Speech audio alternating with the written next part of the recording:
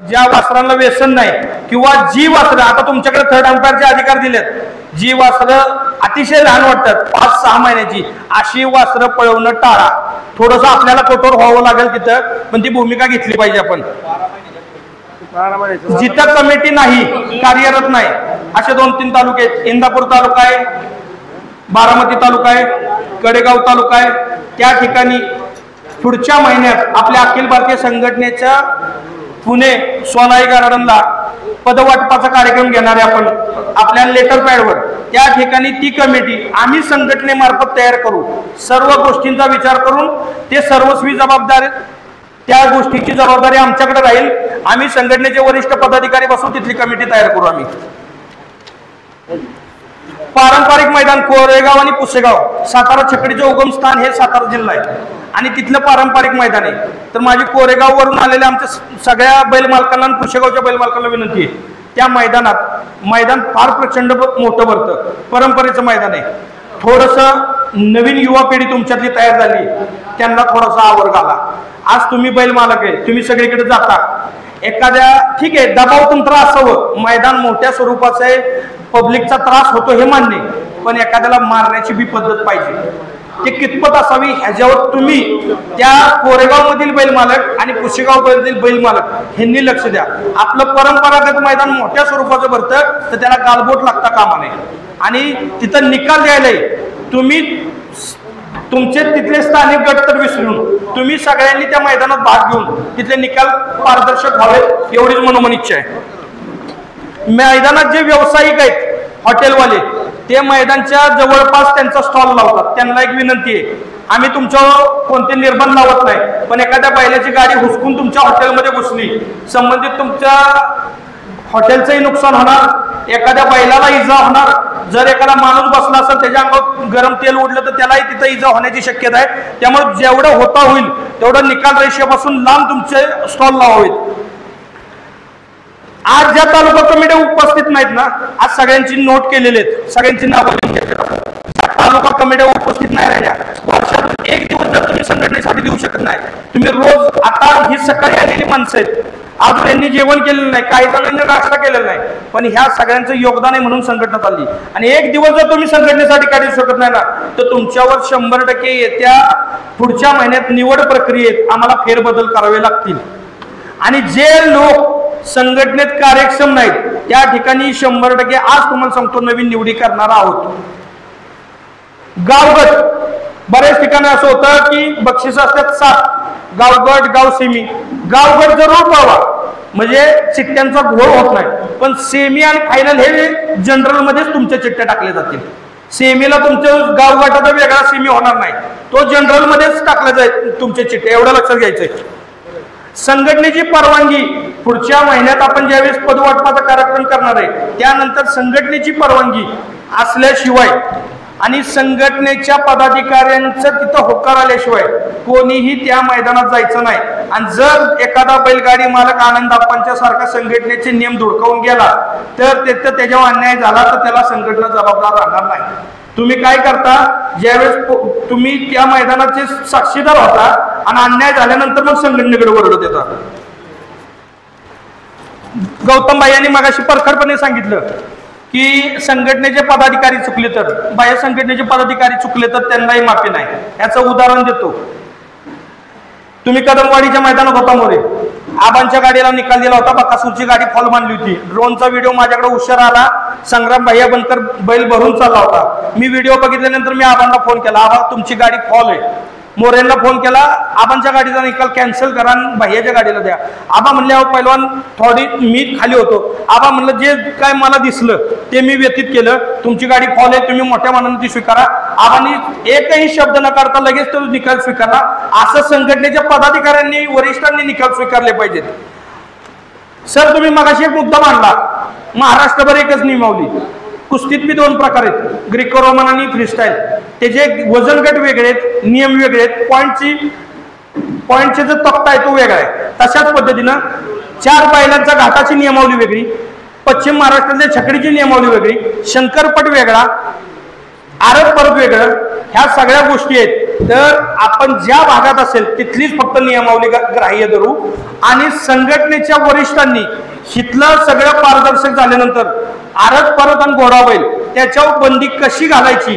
किंवा आरत परतला जे नियम घालून दिले त्या नियमावलीत राहून मैदान कसे होतील? जेणेकरून भविष्यात अशा स्वरूपाचा आपल्याला त्रास पुन्हा होणार नाही. ह्याची दक्षता आपण सगळ्यांनी घ्यायची. चिठ्ठीत घोळ. काही ठिकाणी समालोचकांनी चिठ्ठीत घोळ केला ते आपल्याला निदर्शनास आलं त्या त्यावेळेस आपण त्यांना सूचना केला. त्यांनी ते मान्य केल्या. आयोजकांनी काही ठिकाणी चिठ्ठीत गोळ केला तर त्याला साक्षीदार समालोचक तुम्ही होऊ नका. आणि काही ठिकाणी बैल मालक पण चिठ्ठीत गोळ करतो. जर एखाद्या बैल मालकाला चिठ्ठ्या काढायला बोलावलं या दोन्ही बोटाच्या मध्ये चिठ्ठी धरतो हात हात घालतो आणि त्याची चिठ्ठी मध्ये टाकतो. त्याचंच उदाहरण देतो. पसरणीच्या मैदानात मगाशी विकास सरांनी उल्लेख केला एकशे अठ्ठावन्न नंबरची चिठ्ठी. आप्पा पैलवान कुमटे चिठ्ठी एकच आणि दोन गटात निघाली. चिठ्ठी नंबर एकच एकशे अठ्ठावन्न नंबर. आणि दोन गटात चिठ्ठी आली एक आधी तेराव्या गटात आणि एक आधी सतराव्या गटात. असं जर कुठल्या बैल मालकानं केलं तर त्याच्यावर पण शंभर टक्के कारवाई होणार. एवढं लक्षात ठेवा. आणि जाता जाता आता बाकी काही न सांगता आबा काय विषय असतील ते बोलतील. आप्पा मागाशी तुम्ही बी आता हे तर मुद्दे झाले तुम्ही मागाशी मुद्दा उपस्थित केला. पैलवान गरीबाच्या घरी तयार होतो मोठ्याच्या घरी जन्माला येत नाही. अहो तुमच्या समोरची उदाहरणं आहेत.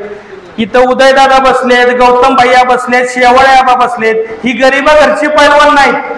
फक्त त्यांची जिद्द चिकाटीन प्रामाणिकपणा असेल तर तो पैलवान कुणाच्याही घरी जन्म घेतो. ह्याचं ज्वलंत आणि जिवंत उदाहरण ही तीन व्यक्ती आहेत. ही गरिबा घरची नाहीत पण ही श्रीमंत घरची असून ह्यांनी नाद योग्यरित्या जोपासून आज त्यांचं नाव लौकिक मिळाले तशाच पद्धतीनं हेच घरी मोठ्याच्या घरी आणि तुम्ही गरीबाच्या घरी असं नाही. तुमच्यासारखा गरीबाच्या घरी जन्माला आलेला कुठंतरी कुडा तण सफरत राहून मोठा झालेला त्यानं रणजित निंबाळकरांच्या सुंदरची मागणी एक कोटीला करावी. म्हणजे गरीब बी कुठं जाऊ शकतो? ह्याचं बी एक जुलाचं उदाहरण तुम्ही. म्हणजे तुम्ही स्वतःला गरीब म्हणून घेता आणि एक कोटीला बैल मागता. म्हणजे हे बघा गरीब कुठं चालले त्यामुळे गरीब श्रीमंत ही तफावत राहिलेली नाही. आपण सगळे एक आहोत. सगळ्यांनी आज अखिल भारतीय बैलगाडी संघटनेच्या विनंतीला मान देऊन आपण सर्वजण इथं उपस्थित राहिला. त्याचबरोबर फलटण तालुका अध्यक्ष रणजित सर आणि त्यांच्या सहकार्याने सुंदर असं नियोजन केलं. त्याबद्दल मी सगळ्यांचा आभार मानतो आणि निकाल हा बैलांच्या कोणत्याही अवयव पुढे दिसेल त्याच्यावर असेल निकाल हा नुसता पायावर किंवा नुसता तोंडावर असताना जो अवयव पुढे असेल त्याच्यावर निकाल दिला जाईल. कुठलाही भारतीय बैलगाडा संघटनेच्या जे आपण काम चालू केलं होतं त्याला एक वर्ष पूर्ण झालं. आणि त्यानिमित्त आपण ही इथं एक जनरल बॉडी जनरल बॉडी आणि चर्चासत्र असं हा जो कार्यक्रम ठेवला होता. आणि याचे आयोजन आपली अखिल भारतीय बैलगाडा संघटना फलटण तालुका यांनी अतिशय सुरेख केलेलं आहे. प्रथमतः त्यांचं मी धन्यवाद मानतो. आणि इथं आलेले सर्व बैलगाडी मालक किंवा तालुक्याचे अध्यक्ष असतील नंतर समालोचकां समालोचक मंडळी असतील यूट्यूबवाले असतील अजून झेंडा पण बाकी इतर घटक जे काही इथं आलेले आहेत तर त्यांचं मी आभार मानतो. आज रोजी आम्ही सर्वांनी चर्चा करून किंवा आपले सर्वांचे प्रस्ताव ऐकून त्याच्यामध्ये काही थोडेफार बदल करून जी नियमावली आपण डिक्लेअर केलेली आहे ही नियमावली आपण दहा जून नंतर कंपल्सरी स्ट्रिक्टली अंमलात आणणार आहे. तर त्याबद्दल सर्वांनी याची नोंद घ्यावा की दहा तारखेनंतर या संघटनेचे नियम नियमबाह्य जे मैदान करेल त्याच्यावरती आपण कारवाई संघटनेमार्फत किंवा सरकारी दोन्हीपैकी एक जशी जमन तशी कारवाई करणार आहोत. विषय राहिला संघटनेचा रजिस्ट्रेशनचा. संघटना रजिस्टर झाली ह्याला महत्त्व नाही. या संघटनेनी रजिस्टर नसताना सुद्धा जे काय दहा वर्ष कुठलीही अपेक्षा किंवा कुठली प्रसिद्धीची अपेक्षा न ठेवता काम केलेलं आहे. आणि आता काही तांत्रिक अडचणी येतात त्याच्यामुळे हे रजिस्ट्रेशन करणं गरजेचं ठरलं नाही तर आम्हाला बारा वर्षात कधीही रजिस्ट्रेशन करायची गरजही भासली नाही. हा एक तांत्रिक मुद्दा झाला रजिस्ट्रेशनचा आणि ह्या रजिस्टर झालेल्या संस्थेला बैलगाडा मालकांनी स्वतःचे नाव रजिस्टर करून घ्यायचे आहे. त्याची पद्धत जी काय असेल ती आपण सर्व मालकांपर्यंत पोचवू. कारण तिथून पुढं जो मालक संघटनेकडं त्याचं नाव रजिस्टर करणार नाही त्याच्याबद्दल कुठेही हस्तक्षेप केला गेला नाही जाणार नाही पुढं किंवा त्याच्यासाठी संघटना कुठं बांधणार नाही. कारण काय होतं की त्या प्रत्येक माणूस जोपर्यंत अडचणी येत अडचणीत येत नाही तोपर्यंत त्याला संघटनेचं महत्त्व कळत नाही. ह्याचं एक जिवंत उदाहरण म्हणजे आम्ही सहा महिन्यापूर्वी जरा पैलवानांना सांगितलं होतं की आपण थांबू. आणि आपण काम करत असताना आणि त्याच्यानंतरचा जो फरक आहे तो सर्वसाधारण बैलगाडा मालकाला जोपर्यंत कळत नाही तोपर्यंत आपण काम करू शकत नाही किंवा आपलं महत्त्व पटत नाही लोकांना तोपर्यंत आपण काम करू शकत नाही. आणि माझ्या अंदाजाने गेल्या तीन चार महिन्यामध्ये लोकांच्या बोलण्याचा जो सूर प्रत्येक वेळेस मी मैदानात असताना येत होता. की संघटना कार्यरत असल्याशिवाय या खेळाचं काही खरं नाही. हाच जो फरक होता ह्याच्यासाठी आम्ही सहा महिने थांबलो होतो आम्ही काही कंटाळलो नव्हतो काय नव्हतो. परंतु फुकट मिळलेली गोष्ट आहे ना माणसांना पचत नाही. म्हणजे त्याचं महत्त्व कळत नाही. त्याच्यामुळं थांबून तो काळ आणि आत्ताचा काळ याच्यातला जो फरक आहे तो जाणवण्यासाठी आम्ही थांबलो होतो. परंतु आता ही जी नियमावली केलेली आहे या नियमावलीला अनुसरून जे मैदान करणार नाही त्याच्यावरती कारवाई करायची. संघटनेने दहा जून नंतर पूर्ण मानस केलेला आहे. इथून पुढे माझी फक्त सर्वांना एकच विनंती राहील की हे सगळं काम करत असताना तालुका कमिटीवरती जे लोक नेमले गेलेले आहेत ते लोक बारशे ऍक्टिव्ह दिसत नाहीत ज्यावेळेस नेमणुका व्हायच्या होत्या त्यावेळेस अक्षरशः म्हणजे लोक एकामेरीशी वाद घालून स्वतःच्या नेमणुका करून घेतलेल्या आहेत. आज रोजी तालुका कमिटी फार कमी ठिकाणी ऍक्टिव्ह दिसते. ऍक्च्युली पैलवानांना फोनच गेला नाही पाहिजे. तालुका कमिटीनीच तिथं त्या मैदानावरती राहून आयोजकाला आणि बैलगाडी मालकाला दोघांनाही मदत करून तो दिवस पार करण्यासाठी तालुका कमिटीची फार महत्वाची भूमिका राहणार आहे. तर तालुका कमिटीने यामध्ये प्रमुख भूमिका असल्यामुळं तिथं उपस्थित राहून ते मैदान पार पाडायची जी जबाबदारी आहे ती पार पाडली पाहिजे. कारण खालच्या लेवलला वरती समजा आम्ही काम करत असताना तालुका लेवलची जे लोक काम करणार आहेत ते यात्रा कमिटीची ओळखीचे असतात किंवा त्यांच्या संबंधित असतात तेच तिथे निर्णय घेऊ शकतात. आम्हाला पूर्ण माहिती मिळायला फार वेळ जातो. तालुका कमिटीच्या लोकांनी तिथं प्रत्येक ठिकाणी प्रत्येक मैदानात आयोजकांनी सुद्धा त्यांना तिथं संधी दिली पाहिजे. आणि थर्ड अंपायर म्हणून तालुका कमिटीचे जो माणूस तिथं काम करत असतो त्याचा निर्णय बैलगाडी मालकांनी मानला पाहिजे.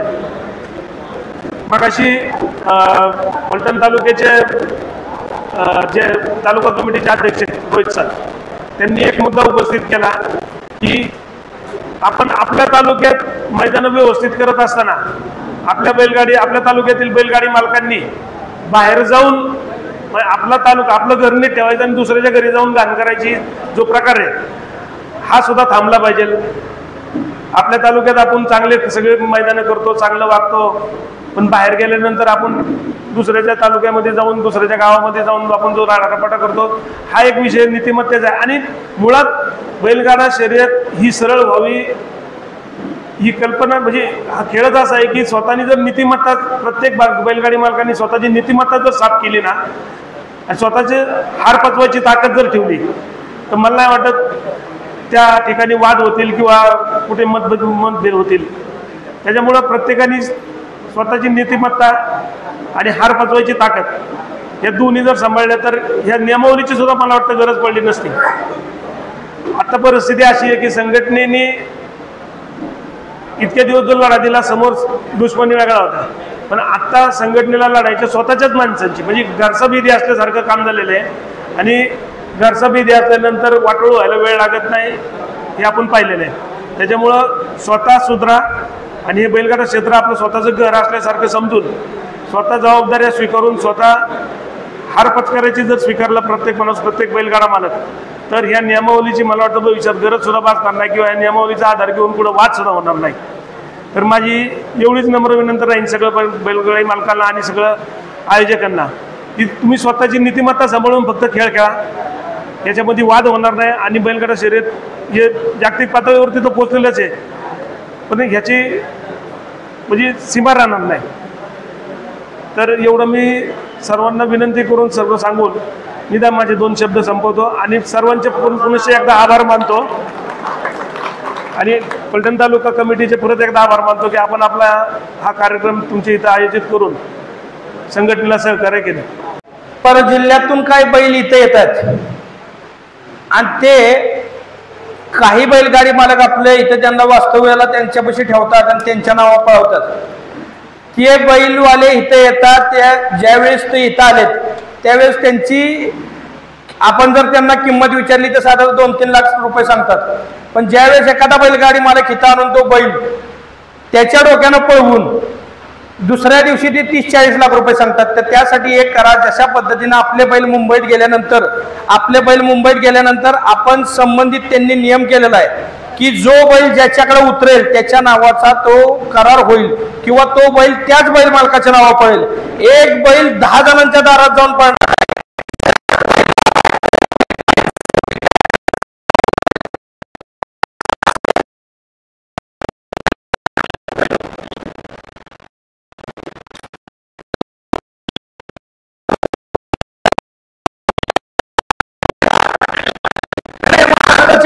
की मग मुंबईची पहिलं जाते ती काय महाराष्ट्राच्या बाहेरची येतात का आप्पा सोडून द्या तुला एक का- काय करू का? नाही नाही नाही नाही आप्पा आता सगळ्या बैलवाल्यांचा मुद्दा आहे हा. मला सांगा तो ह्यो मुद्दा काही योग्य आहे का? नाही नाही नाही तू काढत बसलाय लोक. करार करार व्हावा करार करून द्या